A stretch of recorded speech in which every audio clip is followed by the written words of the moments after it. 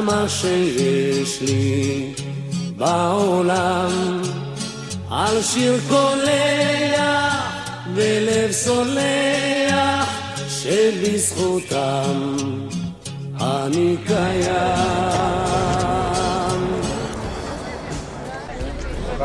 Добрый день. Наш путь на север, в сторону голландских высот. говорит наш гид Сурен Карапетов. Мы едем дорогами Верхней Галилеи. Пейзажи меняются один за другим. Но вначале было бы неплохо подкрепиться, позавтракать. И наша первая остановка – ферма Саба Хабиб или Дедушка Хабиб. Здесь очень вкусные лепешки. Ферма Саба Хабиб, куда мы приехали, размещается на территории кибуца Фарот. Небольшая дружеская семья вот уже 70 лет как выращивает оливки и обрабатывает их. Вначале Саба Хабиб, а теперь его внук, осуществляет производство различных изделий из маслин и оливок. От оливкового масла до мыла и косметических товаров. Наши туристы пополнили свои запасы. Удовлетворив свой аппетит вкусностями и чашечкой ароматного кофе, мы продолжаем наше путешествие.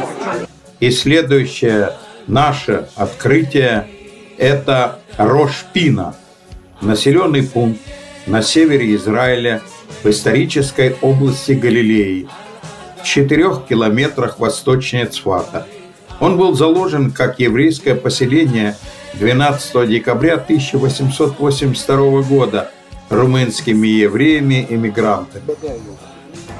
Так вот, именно этот камень и называется Рошпина, глава угла. Но почему город назвали именно так? А это уже э, ссылка на одно из пророчеств Исаии, в котором сказано было. Это э, движение в сторону Эрец Исраиль. Появилась группа, которая называлась Хавевей Цион, возлюбившие Сион. Эта группа поставила свою задачу – основать новые поселения в земле Израиля. Никто тогда не думал о создании государства. Просто искали место для евреев городов Российской империи. Кременчук, Вильна, Минск, Варшава, э, Полоцк. Они покупают билеты и отправляются на землю обетованную. Вместе с ними должна ехать еще одна группа из Румынии, которых они должны забрать из порта Галац. Надо сказать, что отправлялись они, конечно же, не на бум Лазаря, лишь бы в это время. Кто здесь только не останавливался в этой гостинице? Здесь останавливался и сам барон. Здесь останавливались все деятели сионистского движения, которые приезжали в Рошпину, включая Давида Бенгуриона, включая э, Берла Кацнельсона, включая Блюма, Рава Так мы узнали интересную историю возникновения Рошпины из рассказа нашего гида Сурена и добрались до самой высокой точки городка. И здесь нас ждал совершенно трогательный рассказ о героизме наших воинов и памяти о них.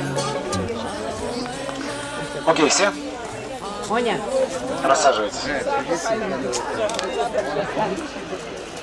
в память о Немроде Сегеве и всех членах экипажа, погибших в танке во время Второй Ливанской войны, создана эта смотровая площадка, этот парк памяти. Потрясающая картина.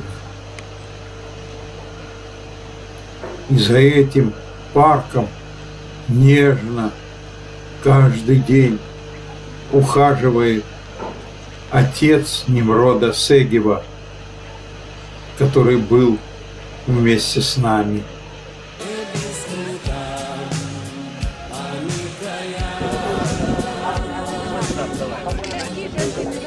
Рошпина. Панорамный вид.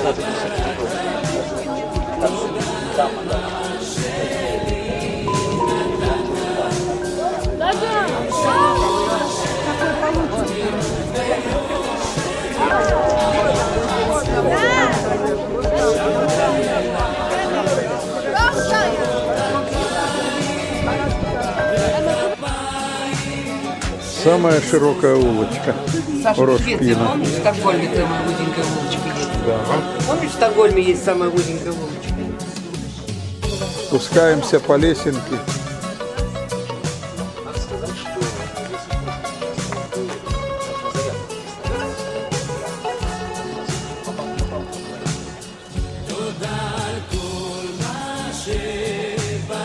Французский парк в Рошпине.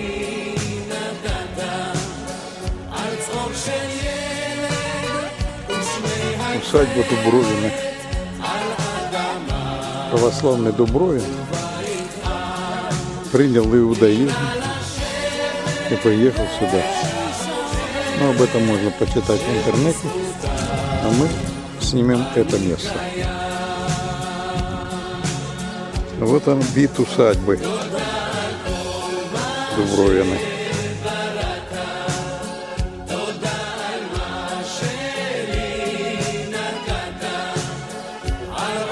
Так жили Дубровины. Печка. Атрибуты быта. Сейчас это кажется странным. Коробки. Швейная машина.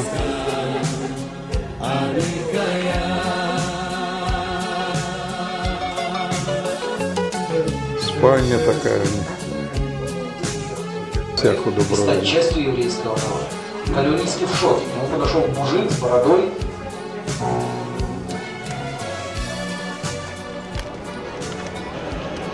А это долина Хула, куда прилетает в год со всех стран мира до полумиллиарда птиц. И улетает отсюда столько же.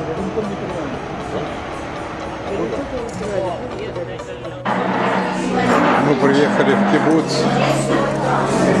Будем сейчас пробовать алкогольные напиточки.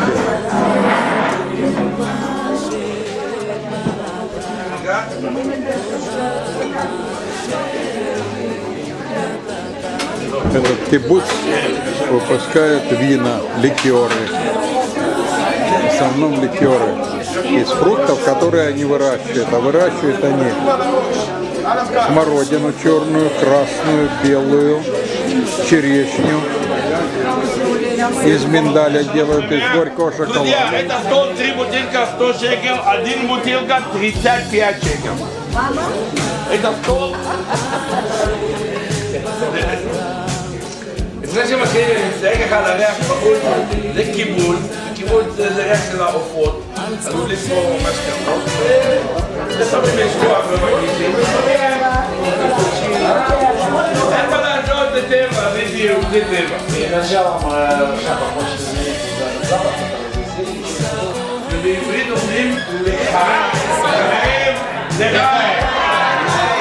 Yeah.